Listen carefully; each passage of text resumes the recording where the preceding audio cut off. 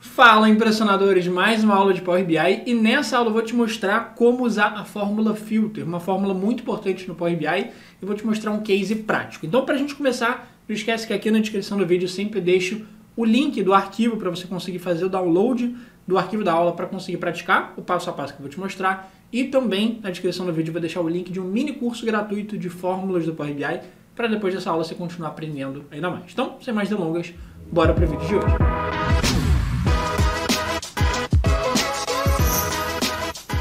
Bom, então vamos lá. A ideia aqui é a seguinte: eu tenho uma tabela no Power BI com o histórico de vendas da empresa. Então, uma empresa de varejo, de produtos eletrônicos e assim por diante. E aqui o meu objetivo é basicamente o seguinte: eu quero saber qual é o percentual de recompra dos clientes. Ou seja, quantos por cento dos clientes compram na empresa mais de uma vez. Então, a ideia é simples, é essa. É basicamente saber, por exemplo, eu tenho 100 mil clientes. Dos 100 mil clientes, 50 mil compraram mais de uma vez, quer dizer que eu tenho 50% de recompra. Ah, dos 100 mil clientes que eu tive, 20 mil voltaram na empresa, então eu tenho 20% de recompra e assim por diante. Então, quero saber quantos por cento dos clientes voltam na empresa. Então, a gente vai ter algumas etapas para conseguir fazer essa conta e vamos pensar junto passo a passo e no meio disso eu vou te explicar justamente a fórmula filter, que vai ser a fórmula que vai permitir a gente fazer isso vai, e vai ajudar a gente nesse sentido. Vamos lá. Para conseguir fazer essa análise do percentual de recompra, eu vou precisar de duas informações. A primeira delas é o número de clientes, beleza? O número de clientes total que eu tenho. A segunda vai ser o número de clientes que recompraram. Ou seja, então, por exemplo, dos 100 mil clientes, esses, esses clientes que chegaram a comprar mais de uma vez, beleza?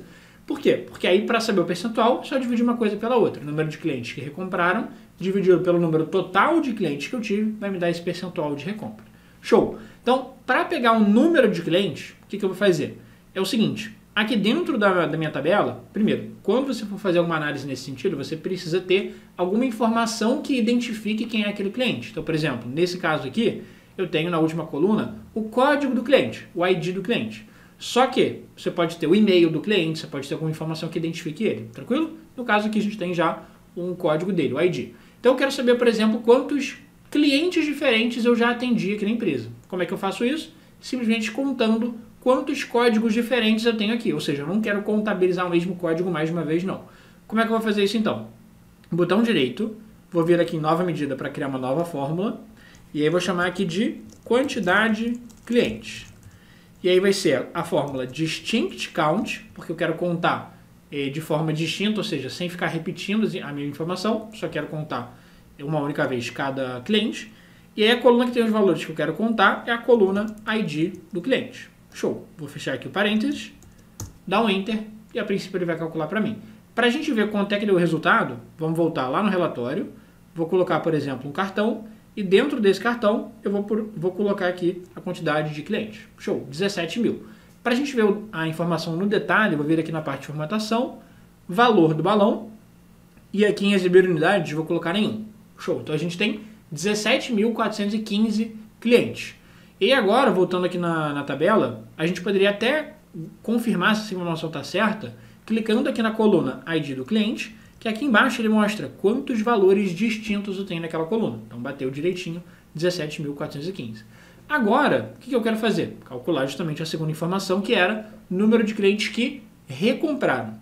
E aí, para isso, a gente vai precisar da fórmula filter. Por quê? Porque aqui a gente vai precisar basicamente olhar todos os clientes, só que de todos os clientes filtrar só os clientes que compraram mais de uma vez, compraram pelo menos duas vezes. Então a gente vai fazer isso usando a fórmula filter. Antes da gente entrar nesse ponto, deixa eu só te mostrar como que funciona a fórmula filter, beleza? A fórmula filter, a princípio a gente usa ela para criar tabelas. Então, para criar tabelas filtradas, ou seja, com algum critério ali, por exemplo. Então, ah, eu quero pegar essa tabela de vendas, mas eu só quero a tabela de vendas com a informação é, com as vendas dos Estados Unidos. Então, por exemplo, eu não quero ver nenhuma outra venda, só quero ver as vendas dos Estados Unidos. Então, ou sei lá, só as vendas da Alemanha, por exemplo. Tu poderia clicar aqui na Alemanha, dar o OK, beleza. Então, isso aqui é a tabela de vendas filtrada só com as vendas feitas na Alemanha. Só que isso aqui ainda é aquela mesma tabela original de vendas. Ela não só tem as informações da Alemanha. Então, a ideia aqui da fórmula filter é realmente trazer para a gente uma tabela só com os valores que a gente quer, beleza? Então, como é que a gente faria para usar a fórmula filter para eu te mostrar passo a passo? Virei aqui na guia página inicial e aqui ó, tem essa opçãozinha de nova tabela para a gente criar uma nova tabela usando uma fórmula no Power BI. Então, vou chamar, por exemplo, de vendas é, Alemanha. Vendas Alemanha.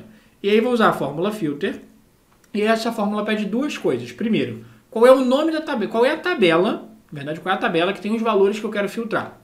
Bom, se eu quero todas as vendas com informações da Alemanha, vou puxar aqui a tabela base vendas, que é o nome dela. Então, base vendas, base vendas. Beleza. Vírgula. Qual é o filtro que eu quero aplicar? Bom, eu tenho que falar para ele qual é a coluna que tem os valores que eu quero aplicar e qual é o meu filtro. Então, no caso, eu tenho que procurar o país. E aí, se eu escrever país assim, com um acento, ele vai dar erro. Então, vou começar a escrever pá de país. Achou, ó. Ou posso escrever aqui, ó, assim, base vendas. E aí colocar entre colchetes país. Aí sim ele vai entender. Quando está entre colchetes, que ele sabe que é o nome de alguma coluna, de alguma coisa assim, beleza? Show. Show. Então, base vendas país. Deixa eu só tirar o filtro. Deixa eu só tirar o, o zoom aqui no caso. Eh, país, então, tem que ser igual a Alemanha. Então, vou colocar entre, entre aspas, porque é um texto. E fecha parênteses. Então, basicamente, falei para ele o seguinte, ó, eu quero pegar a base vendas, só que eu não quero a base completa, eu só quero aquela base desde que o país seja igual à Alemanha. Então aqui, ó, ele trouxe a mesma base, só que agora ele tem, ela tem muito menos linhas, tá vendo? E o país só tem aqui a Alemanha, não tem mais nada. Tanto que aquela base, deixa eu abrir ela aqui, ó, base vendas, ela tinha 56 mil linhas no total. Então 56 mil transações que a gente teve. Essa outra tabela agora, ó, vendas Alemanha, só tem 4.171 linhas, beleza? Show! Então isso aqui foi mais para te mostrar como que funciona a lógica da fórmula filter. A gente vai usar isso agora para o caso que a gente quer. Show! Só que a fórmula filter ela não vai ajudar a gente sozinha. Ela vai ter que vir acompanhada de outra fórmula para eu conseguir é, pegar, por exemplo, só os clientes e só os clientes compraram alguma determinada quantidade de vezes. Show? Como que a gente vai conseguir fazer isso? Seguinte, para a gente, por exemplo, criar uma tabela é, só com os clientes, que é o que eu vou querer fazer, eu vou querer criar uma tabela só com os clientes, não quero esse monte de informação de marca, categoria, preço, não. Só quero uma tabela com os clientes e mais especificamente com os clientes que compraram mais de uma vez. Beleza. Então agora a gente vai ter que, além da fórmula filter, saber também a fórmula values, que eu vou te mostrar agora como é que ela funciona. O que é a fórmula values? A fórmula values, eu abri aqui o Excel só para te mostrar de forma visual um exemplo, ela basicamente cria para a gente uma tabela com os valores de uma determinada coluna. Ou seja, ao invés de puxar a tabela inteira, o que, a gente fez aqui no caso? A gente puxou a tabela inteira, tá vendo? Base vendas. Só que a fórmula values, ela ajuda a gente a, ao invés de puxar uma tabela inteira, puxar uma única coluna. Tranquilo? Então, basicamente, eu falo para ele, ó, eu quero puxar daquela tabela uma única coluna. Então, a fórmula values serve para isso. Só que o legal da fórmula values é que ela basicamente puxa os dados de uma coluna, só que ela remove duplicatas. Então, por exemplo, imagina que eu tivesse essa tabela daqui, vendedor e receita, o histórico de vendas da empresa. Então, tem os vendedores, receita de cada uma das vendas deles. Se eu usasse a fórmula values e dentro da fórmula values especificasse que eu quero a coluna de vendedor, o que, que ele vai fazer? Ele vai criar para mim uma tabela só com a coluna de vendedor e mais nada, só essa coluna, e, além disso, o que, que vai acontecer? Ele vai remover as duplicatas. Então, tá vendo que o Alon aparece mais uma vez, o Diego aparece mais uma vez, o Lira aparece mais uma vez. Então, aqui é basicamente isso. A gente está puxando essa informação só é, de forma única, né? sem, sem, sem as duplicatas. Ele remove as duplicatas. Então, isso vai ajudar a gente a quê? A ter uma lista dos clientes, sem ficar repetindo eles, e aí de cada um dos clientes que a gente tem, a gente vai conseguir saber quantas vezes ele comprou. Se ele comprou uma vez, se ele comprou duas vezes, três vezes, quatro vezes e assim por diante. Beleza? E a gente vai começar a misturar essas fórmulas. Então, deixa eu apagar aqui rapidinho a fórmula filter. Então, deixa eu apagar a, essa tabela no caso. Então, vou puxar a tabela de vendas Alemanha, ó, três pontinhos, excluir do modelo. Então, vou tirar aqui. E agora eu quero fazer o seguinte, quero te mostrar a fórmula values para a gente conseguir criar uma tabela que somente vai ter os códigos dos clientes. E não vai ter nenhum cliente repetido, porque a fórmula values remove duplicados. Então, botão direito, nova, tab nova tabela, na verdade não vai ter aqui no botão direito. Então vai ser lá em cima, página inicial, nova tabela. Vou chamar essa tabela de clientes.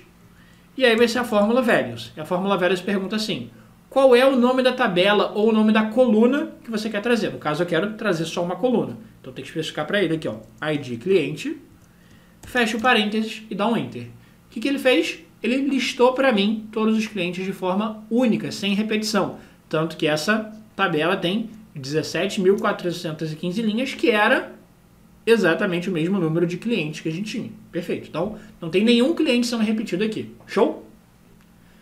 Beleza, então a gente tem aqui agora a lista de clientes, mas o que, que a gente faz com isso? A ideia é a seguinte. Então a gente aprendeu a fórmula values para retornar para a gente a lista de clientes e a gente aprendeu a fórmula filter para filtrar uma determinada tabela. E se a gente e se a gente juntar essas duas informações, essas duas fórmulas, a fórmula filter com a fórmula values, a gente vai conseguir filtrar a lista de clientes. Então, porque no caso aqui que ele está fazendo, está trazendo todos os clientes. Eu quero conseguir filtrar só os clientes que compraram mais de uma vez. Tranquilo? Antes disso, só para a gente ir fazendo bem passo a passo, deixa eu, deixa eu apagar aqui essa lista de clientes. Ó. Então, vou vir aqui nos clientes, três pontinhos, excluir o modelo, vou confirmar que eu quero excluir. Beleza, então vou vir aqui na base de vendas. Agora, o que, eu quero fazer? É, só para a gente primeiro, antes de mais nada, pensar juntos na lógica de como é que eu vou pensar nisso da recompra e assim por diante, lembra que é o seguinte, é, Cada vez que aquele cliente aparece, é uma compra diferente que ele está fazendo. E aí, só um detalhe importante: eu não estou levando em conta quantos produtos a pessoa comprou. Então, se eu comprei 10 unidades hoje, não interessa, foi uma compra de 10 unidades que eu fiz. Se eu comprei no ano que vem 50 unidades, foi uma compra que eu fiz de 50 unidades. Então, não estou interessado em saber na quantidade vendida e sim na quantidade de vezes que a pessoa foi na loja, beleza? Então, antes de mais nada, é importante a gente criar uma fórmula que contabilize para a gente quantas, é, quantas vendas a gente já fez, quantas transações a gente já fez, beleza? Então, imagina que cada linha da tabela é uma transação. Uma transação pode ser de uma unidade, 10 unidades, 50 unidades, assim por diante. Então, vamos lá, botão direito, nova medida, e eu vou chamar aqui de quantidade transações.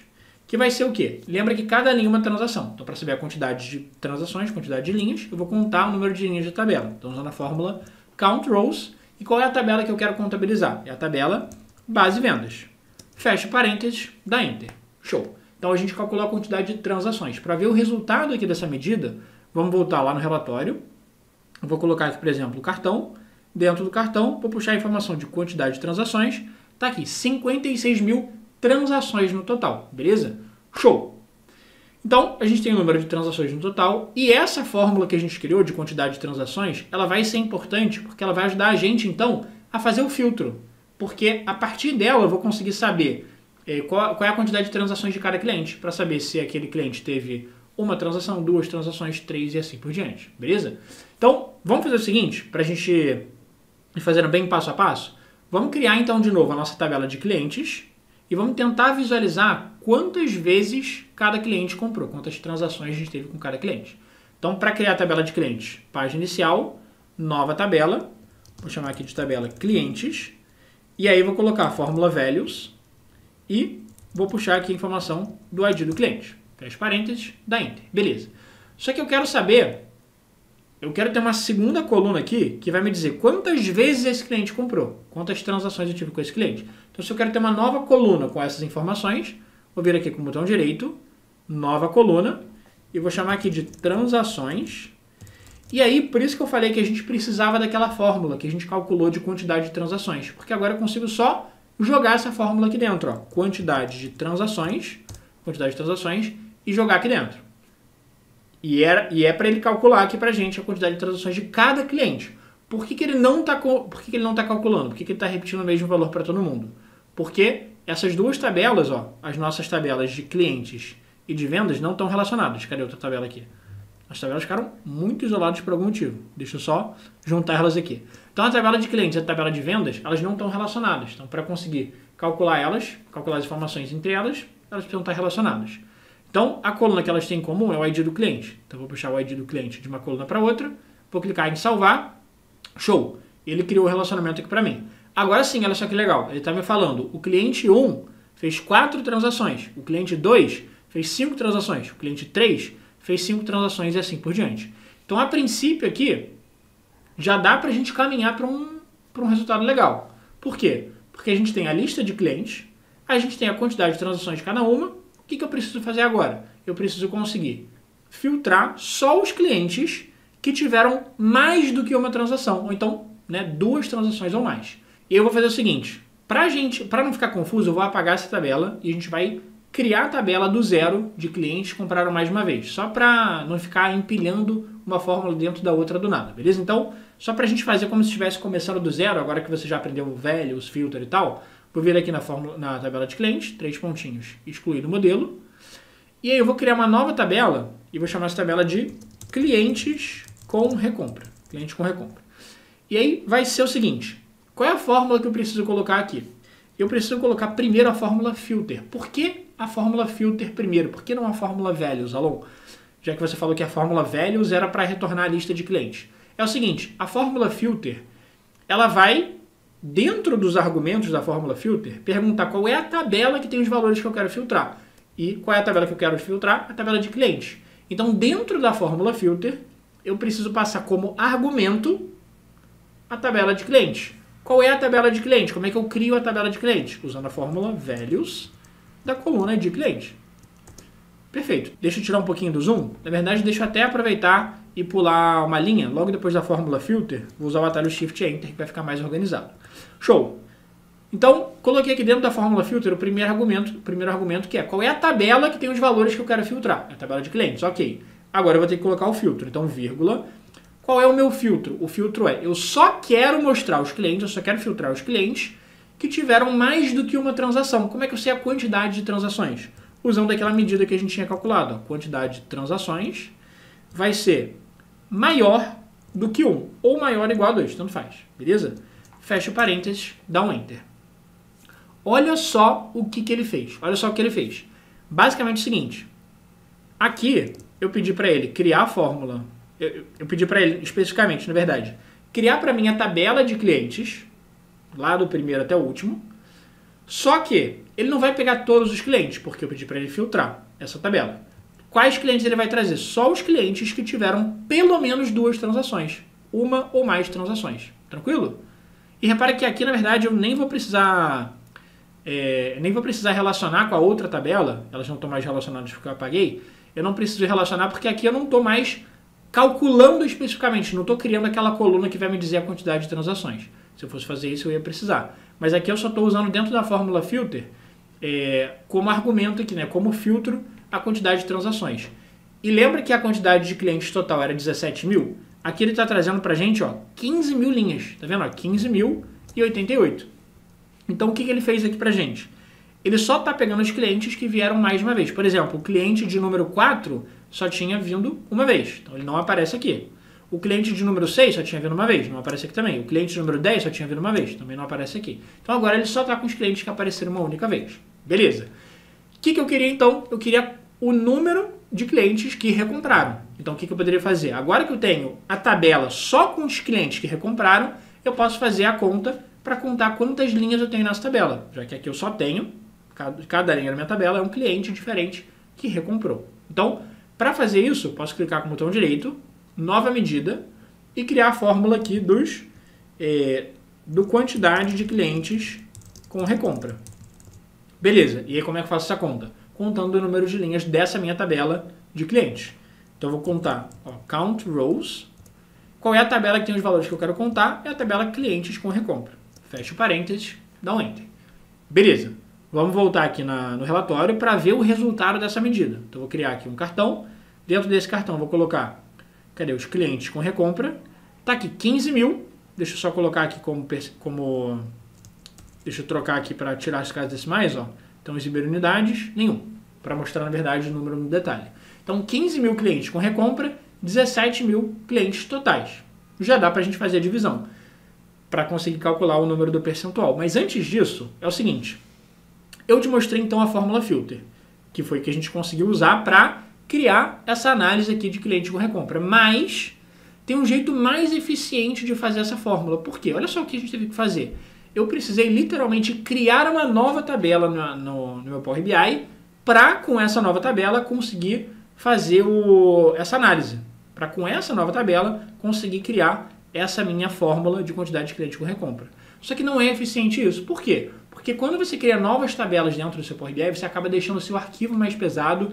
E imagina se para cada fórmula, para cada análise um pouquinho mais complexa que você quiser fazer, você vai precisar, por exemplo, é, criar uma nova tabela. Ah, então vou criar uma nova tabela para essa análise. Vou criar mais outra nova tabela para outra análise. Você vai ficar daqui a pouco com 50 mil tabelas no Power BI e isso acontece muito com muitas pessoas e não é eficiente. Então, o que, que é melhor a gente fazer? Vou te mostrar o seguinte.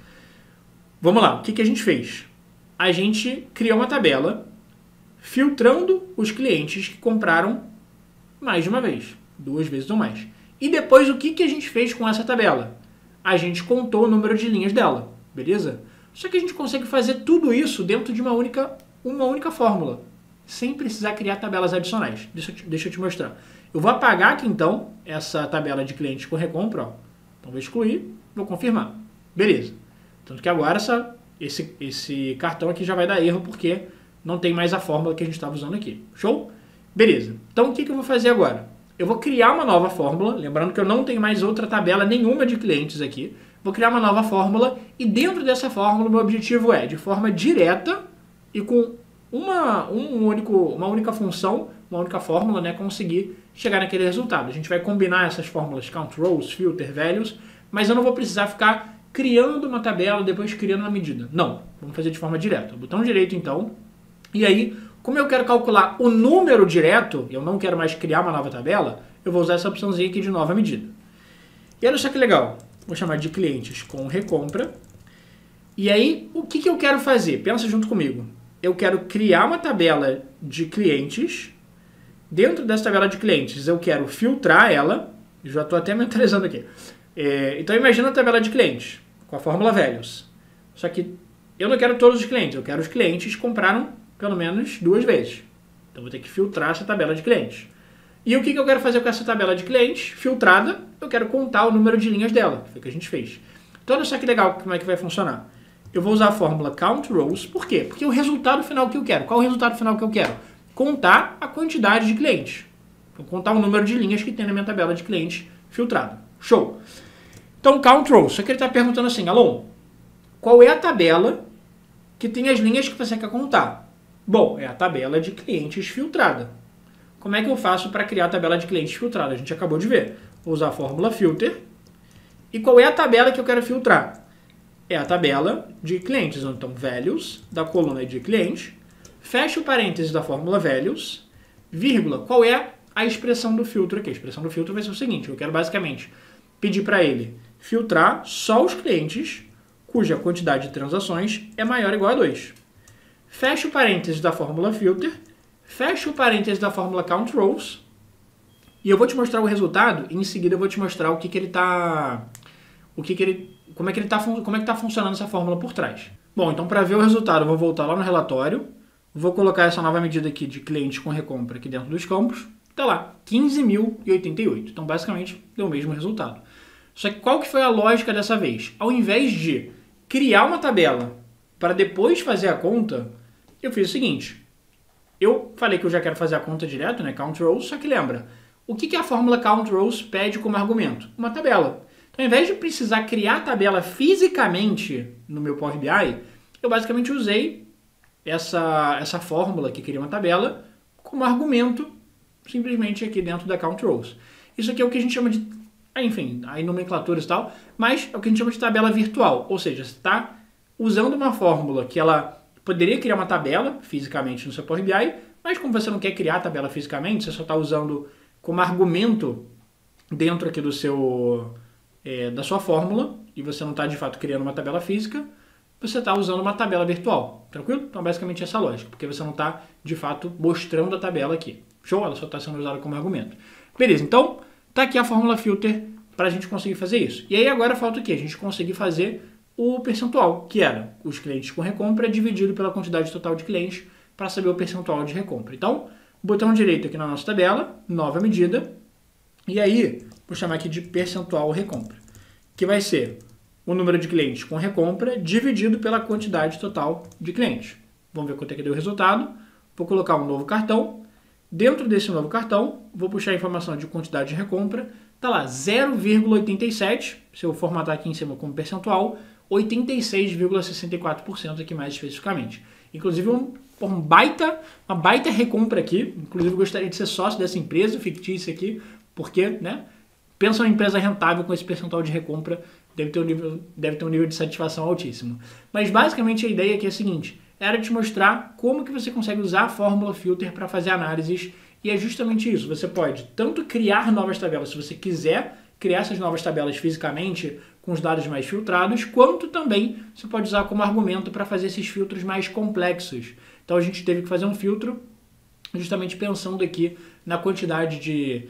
É, pensando na lista de clientes, cada um dos clientes a gente queria avaliar se ele tinha mais do que uma transação ou não. Então a fórmula filtro ela ajuda a gente para isso, para filtros mais complexos que a gente vai fazer aqui no Power BI para fazer análises como essa. Então eu espero que você tenha gostado dessa aula. Se você gostou, não esquece de sentar o dedo aqui no like e lembrando que aqui na descrição do vídeo eu vou deixar o link de um mini curso gratuito de fórmulas DAX, que são as fórmulas do Power BI para você continuar aprendendo ainda mais. Beleza? Então, também não esquece de se inscrever no canal para não perder nenhum dos próximos vídeos que a gente está sempre postando conteúdo de Power BI, de Excel, de inteligência artificial de graça aqui para você com material para praticar, com arquivos, gabaritos, eh, mini cursos e assim por diante. Então, aproveita e se inscreve no canal e a gente se vê no próximo vídeo.